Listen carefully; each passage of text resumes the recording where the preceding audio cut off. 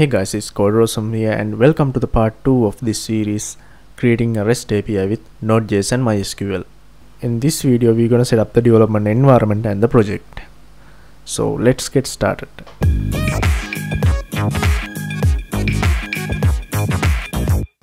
First things first, we need to install Node.js and MySQL on our local machine.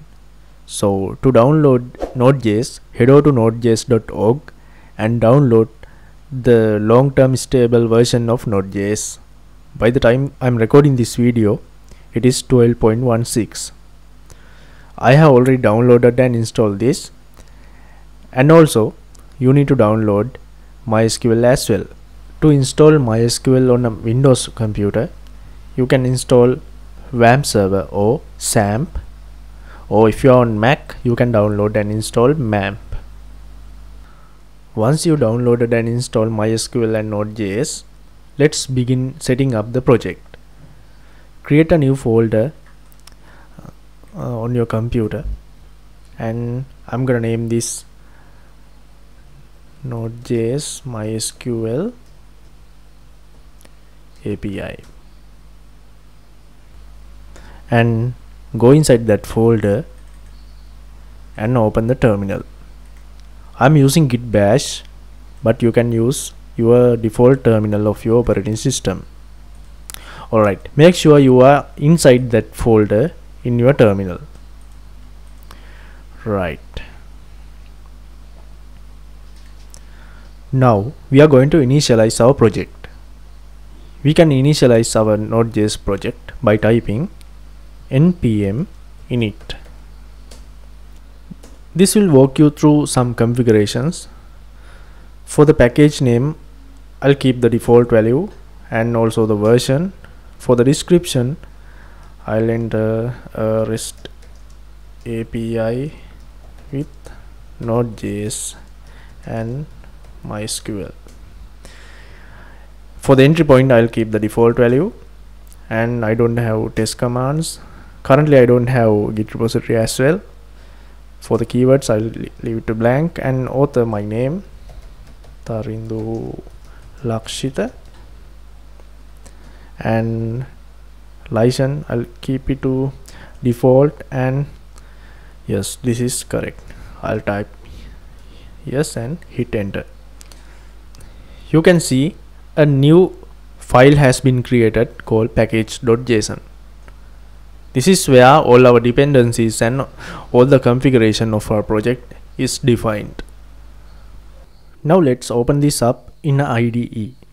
I'm using WebStorm but you can always use one of your preferred IDE like Atom, Sublime or Visual Studio Code. I open this up in the IDE. Let's take a closer look at this package.json file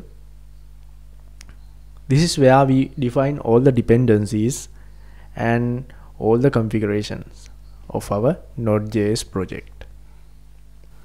Now what i'm going to do is i'm gonna install express as a dependency. Express is a node.js web application framework that provides a lot of tools to develop web applications with node.js and it makes the development so much easier so I'm gonna open up the terminal of the IDE this is same as the terminal of the operating system. You can use that without any problem. I'm gonna type npm install dash dash save express. This will install the express package and once it installed you can see a new folder called node modules has been created. You don't have to mess, mess with this folder because uh, it is where all the packages and libraries are installed. So we don't do any change here. Now I'm gonna create a server in languages like PHP or Java, we run our application on third-party servers like Apache, glassfish. But in node.js we write our own servers. We run node.js applications uh, by writing our own servers. So I'm gonna create a new file here. I'm gonna name this server.js and I'm gonna define my server here. And before defining the server I'm creating another file. I'm gonna name this app.js and this is where I define my express application. Actually this is the entry point of our application. Alright I'm gonna close these two files and I'm gonna install another dependency which is Sequelize Sequelize is the ORM we are using. ORM stands for Object Relational Mapping. So with Sequelize or any other ORM you can talk to the database very easily. You can run queries without writing SQL and it is so much easier when you are defining relations so we are using Sequelize here. It will makes the development so much easier and so much faster. So let's install Sequelize I'm gonna type npm install dash dash save. By the way this dash dash save uh, command it will create an entry in the package.json file like we did when installing express. So uh, once I install Sequelize it will create a new entry called Sequelize. Right.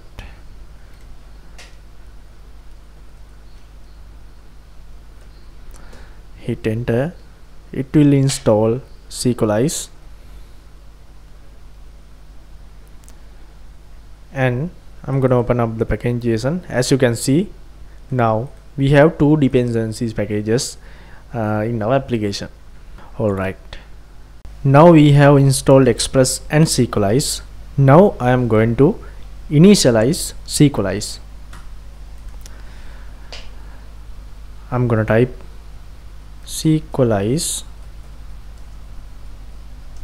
init.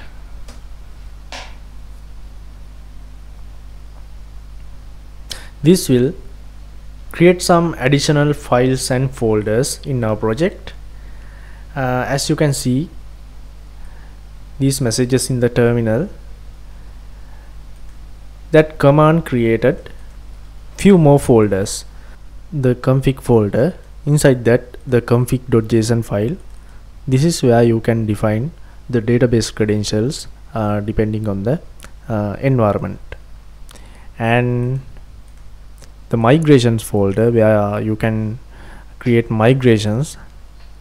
And the models folder where you should create model files and seeders. Alright. Now we have installed express we have installed Sequelize and we have initialized Sequelize as well.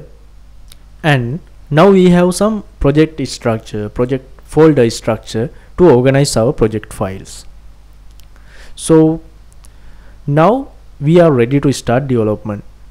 So in the next video we will start writing some code by adding some controllers and routes. Keep in touch with the channel. Hit subscribe if you haven't already. Like it share it and if you have any concerns please let me know in the comment section. So see you guys in the next video